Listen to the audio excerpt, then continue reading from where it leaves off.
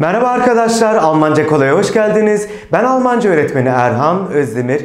Dersimizin konusu arkadaşlar Der Brief. Burada arkadaşlar çeşitli mektuplar yazıyor olacağız. Hazırsanız dersimiz başlasın. Bu mektubu yazarken arkadaşlar hangi amaçla nereye yazıyoruz, ne şekilde yazıyoruz? Bu bizim e, hitabet tarzımızdan tutun da içeriğine kadar birçok formda değişiklik yapmamıza neden olacaktır. Öncelikle maviyle yazmış olduğum e, noktaya bakarsak Grund, der Grund neden yazıyorum? Değil mi? Bu mektubu hangi amaçla yazıyorum? E, bakın burada garanti denilmiş. Die garanti demek ki e, bir cihazla alakalı, bir garantiyle alakalı buna değinmemizde fayda var anlamında değil mi? Teknik e, ya da işte teknik bir birim olabilir bu. Teknika olabilir değil mi? Teknik birim olarak ben kısaca bu başlığı e, kullanmak istedim. Ve telefon numara bu da telefon numarası ile ilgili bizim bildirmemiz gereken bir nokta varsa mektubun içeriğinde bu noktalara dikkat etmemiz gerekiyor ki bu mektubu yazalım. Dilerseniz e, mektubumuza bir geçelim. Mektuba geçtiğimizde arkadaşlar başlığa baktığımızda sehr geehrte Firma X Technik e, hitapta diyebiliriz değil mi? Sehr geehrte saygı değer demek arkadaşlar. Dolayısıyla biz e, bir e, bir kurum olabilir, bu bir şahıs olabilir. E, dolayısıyla sizli bizli bir konuşmayı gerektiren bir durum varsa ZGET şeklinde yazmamız gerekiyor. Ben bir firma ismi uydurdum X Technik diye. E, dolayısıyla geehrte Firma X Technik diye bir başlangıç yapmış oluyoruz mektubumuza. Bakın hemen ardından virgül geliyor ve e, cümlenin başına ilk harfi ne oluyor? Ufak e, harfle başlıyorum değil mi e, kelimeme? Ich, evet ne demiş bir bakalım. Ich habe vor fünf Monaten einen Geschirrspüler gekauft. Evet. Öncelikle bir anlamlandıralım arkadaşlar e, habe gekauft neydi? Satın aldım anlamında değil mi? E, vor fünf Monaten 5 ay önce demek. Einen Geschirrspüler. Der Geschirrspüler arkadaşlar bulaşık makinesi. Dolayısıyla der Geschirrspüler bulaşık makinesi demekmiş. Ne diyor bu cümle? Ben 5 ay önce bir bulaşık makinesi satın aldım diyor değil mi? Ich habe vor fünf Monaten einen Geschirrspüler gekauft. Bakın burada arkadaşlar güzel Türkçeden farklı olarak eş e, dediğim gibi ilk harfi küçük yazılması gerekiyor. Ancak güzel Türkçede öyle değil. Ne yapıyoruz? Ee, başlangıç değil mi? Nasıl büyük harfle yazılmış oluyor. Ancak burada durum öyle değil. Hatta ne yapılıyor? Bir boşluk veriliyor. Ancak Almanca'da tamamen sola yanaşık bir şekilde yazılması gerekiyor. Devamını bakıyoruz. Bakın burada Grund sebeple alakalı değil mi? Ee, bir durum var. Ee, devam ediyor. Leider funktioniert er nicht. Evet. Maalesef, leider, maalesef demek arkadaşlar. Funktionieren, çalışmak, maalesef çalışmıyor derken leider funktioniert er nicht. Evet buradaki, buradaki er'den kasıt arkadaşlar der e, Geschirrspüler. Dolayısıyla leider funktioniert er nicht değil mi? Maalesef çalışmıyor. Devamına bakalım. Mehrmals habe ich versucht, sie zu erreichen. Evet, bunu bir anlamlandıralım. Mehrmals çok defa, birçok kez anlamında arkadaşlar. Mehrmals. Bakın, e, bununla başlamış değil mi? E, habe ich versucht. Evet, versucht, habe versucht, denedim. Değil mi? Defalarca denedim. Sie zu erreichen, size erreichen ulaşmak demek arkadaşlar. Size ulaşmayı defalarca denedim e, dediğimizde demek ki mehrmals habe ich versucht, sie zu erreichen. Şöyle de diyebilirdim arkadaşlar. Ich habe versucht, sie, ich habe mehrmals versucht, sie zu erreichen da diyebilirdim. Bakın arkadaşlar burada bir zu e, yapısı var. Bunu ileriki e, dönemde, ileriki derslerde görüyor olacağız. Ancak hani şimdiden de böyle bir gör, göstermek istedim. Zu plus infinitif bir şey yapmak üzere gibi kısaca anlatacak olursak arkadaşlar. Zu yapısıyla beraber e, master haldeki fiili e, kullanmamız gerekiyor. Yapmak üzere. E, burada erreichen ulaşmak demek arkadaşlar. Yani ulaşmak üzere birçok defa size e, bunu denedim gibi evet e, hani biraz bölük pörçük anlatıyor gibiyim ama hani anlamlandırmak adına e, böyle ilerlemek durumundayım. Demek ki erreichen ulaşmak anlamında arkadaşlar. Ulaşmak üzere gibi e, düşünelim zu erreichen'i. Dediğim gibi bu zu plus infinitif konusunda çok ayrıntılı bir şekilde karşımıza çıkacak. Cümleye geri dönecek olursak demek ki size ulaşmak için defalarca denedim dediğimde demek ki mehrmals habe ich versucht sie zu erreichen.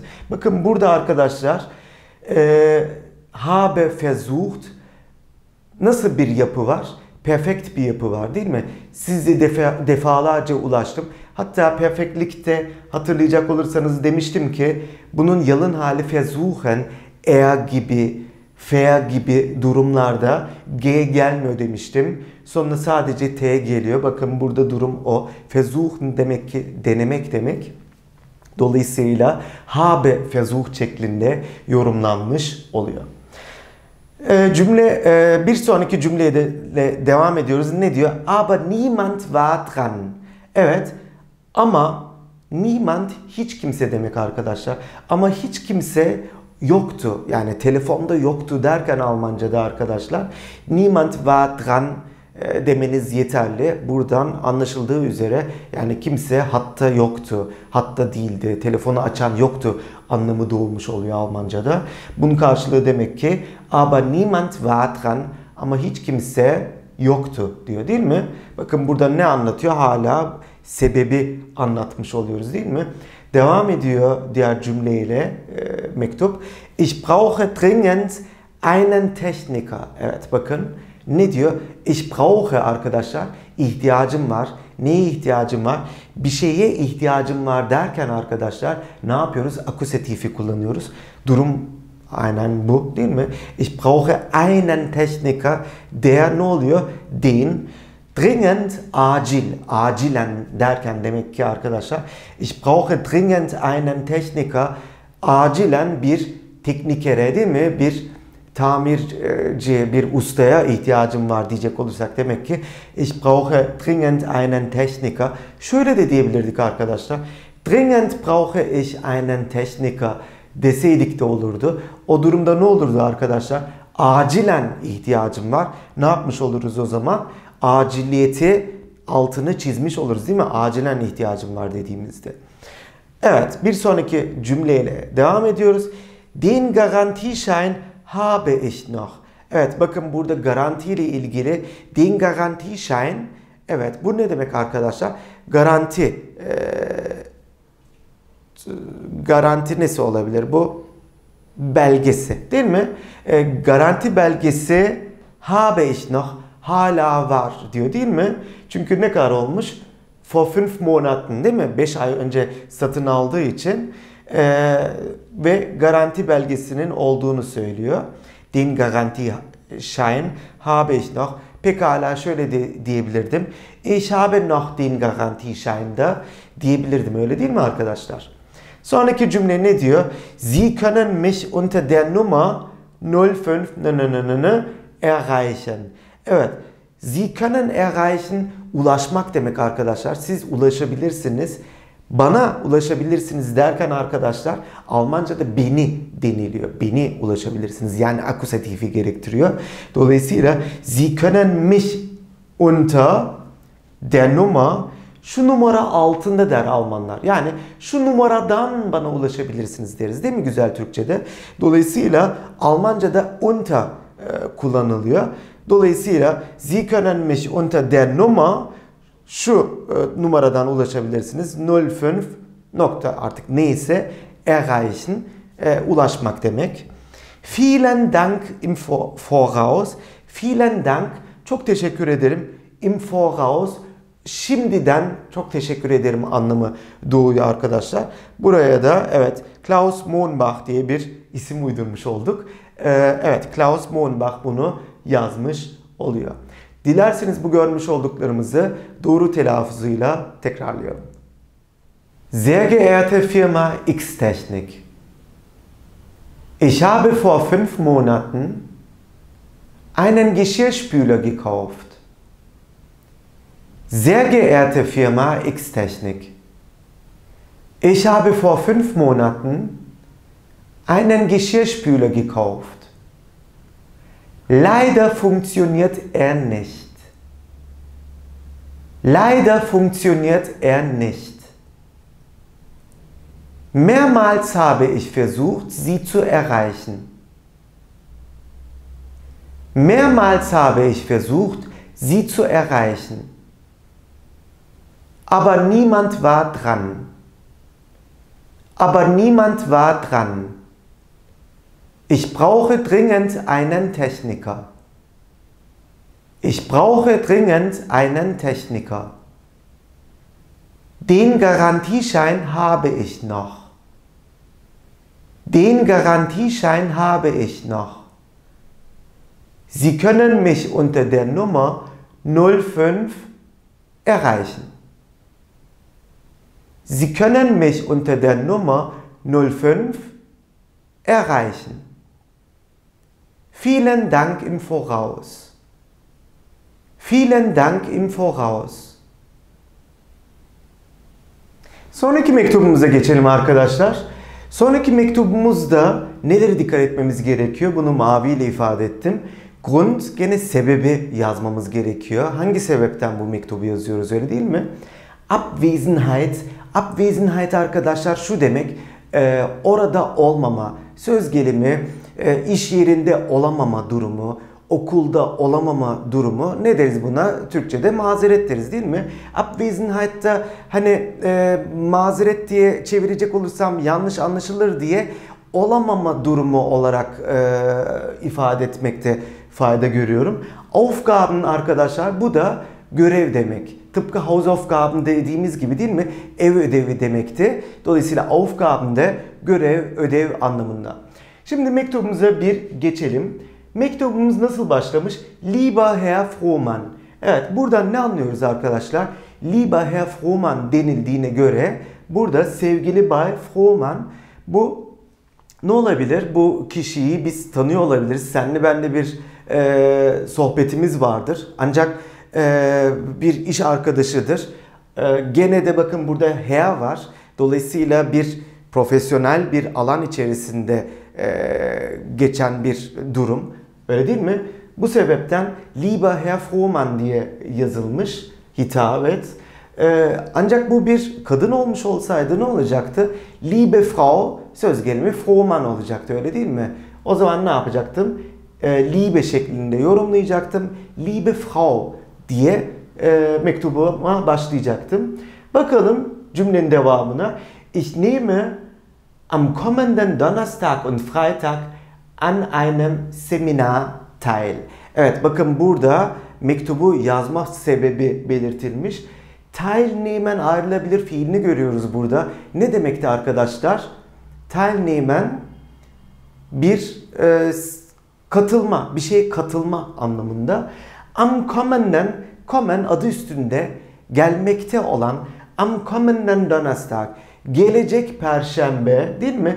Am kommenden Donnerstag und Freitag demek ki gelecek e, perşembe ve cuma günü an einem Seminar anlaşıldığı üzere ne bir seminere ne yapıyormuş?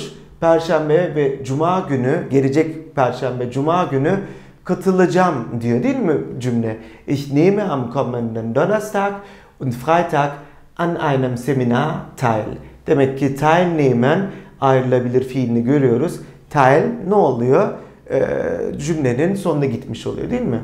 Devam ediyor diğer cümle. Leider kann ich an diesen Tagen nicht in die e, Firma kommen. Evet, burada ne diyor? Leider, maalesef kann ich an diesen Tagen, evet, an diesen Tagen bugünlerde. Yani bugünlerdeden kasıt ne? Am, e, am kommenden Donnerstag und Freitag yani gelecek Perşembe ve Cuma günü ne yapamıyormuş? Nicht in die Firma kommen. Firmaya gelemiyorum değil mi? Maalesef bugünlerde firmaya gelemiyorum dediğimizde demek ki leider kann ich an diesen Tagen nicht in die Firma kommen değil mi? Şöyle de diyebilirdik arkadaşlar. An diesen Tagen kann ich in die Firma leider nicht kommen şeklinde de yorumlanabilirdi bu cümle. Ya da ne yapabilirdik alışılageldiği üzere ich kann leider an diesen Tagen in die Firma nicht kommen şeklinde de yorumlanabilirdi değil mi? Devam ediyoruz. Bakın burada Abwesenheit yani olamama durumu izah edilmiş değil mi? Bugünlerde gelemiyor. Hangi sebepten dolayı gelemiyor? Çünkü seminere, seminere katılması gerekiyor. Bu da verilmiş oluyor. Aufgaben bakın görev ödev noktasında acaba e, nerede belirtilmiş ona bakacağız. Könnten Sie mich bitte vertreten? Evet, vertreten arkadaşlar yerine geçmek demek arkadaşlar. Rica etsem benim yerime geçebilir misiniz derken bakın ricalarda ne yapıyorduk arkadaşlar? Könnten şeklinde değil mi? Yapabilir misiniz acaba gibi söyleyecek olursak Almanca'da ne diyoruz? Könnten Sie mich bitte vertreten? Rica etsem değil mi? Benim yerime geçebilir misiniz vertreten? Ne diyor bakın? Sie sollten nur die Telefonate beantworten und Notizen machen. Ne yapmalısınız diyor? Nur sadece die Telefonate beantworten. Yani telefonları, çağrıları cevaplamak değil mi? Yani telefon çağrılarını cevaplamanız ve und Notizen machen ve not almanız değil mi? Bunu e, rica ediyor. Dolayısıyla Sie sollten nur die Telefonate beantworten und Notizen machen demiş. Evet, diğer cümle ne diyor? Die anderen Aufgaben kann ich selber erledigen. Evet, erledigen halletmek, tamamlamak. Daha çok halletmek anlamında arkadaşlar. Die anderen Aufgaben, diğer görevleri, demek ki diğer görevleri derken die anderen Aufgaben demem gerekiyor. Kann ich selber kendim erledigen halledebilirim değil mi? Ben diğer görevleri kendim hallederim demiş. Şöyle de diyebilirdik. Ich kann die anderen Aufgaben selber erledigen. Bakın bu da pekala olabilirdi. Çok teşekkür ederim derken ne diyecekmişiz? Vielen Dank değil mi? Vielen Dank. Çok teşekkür ediyor. Kim? Maria. Değil mi? Ee, teşekkür etmiş oluyor. Demek ki bu mektupta ne anlatılmış oluyor arkadaşlar? Maria e, adlı şahıs ne yapmış oluyor? Bir seminere katılmak istiyor. Öyle değil mi? Ve e, seminere katılırken e, Herr Frohman değil mi? Bay Frohman'dan ne istiyor, ne talep ediyor? E, onun yerine geçmesini bu iki gün, onun yerine geçmesini, telefonları değil mi? Bu telefon çağrıları cevaplamasını ve notlar almasını rica etmiş oluyor. Dilerseniz bu görmüş olduklarımızı doğru telaffuzuyla tekrarlayalım. Lieber Herr Frohmann, ich nehme am kommenden Donnerstag und Freitag an einem Seminar teil. Lieber Herr Frohmann, ich nehme am kommenden Donnerstag und Freitag an einem Seminar teil. Leider kann ich an diesen Tagen nicht in die Firma kommen. Leider kann ich an diesen Tagen nicht in die Firma kommen. Könnten Sie mich bitte vertreten? Könnten Sie mich bitte vertreten? Sie sollten nur die Telefonate beantworten und Notizen machen. Sie sollten nur die Telefonate beantworten und Notizen machen. Die anderen Aufgaben kann ich selber erledigen. Die anderen Aufgaben kann ich selber erledigen. Vielen Dank. Vielen Dank. Evet arkadaşlar bir dersimizin daha sonuna geldik. Bu dersimizde der Brief mektup konusunu görmüş olduk. Bir sonraki dersimizde görüşmek üzere diyorum. Hoşçakalın. Tschüss.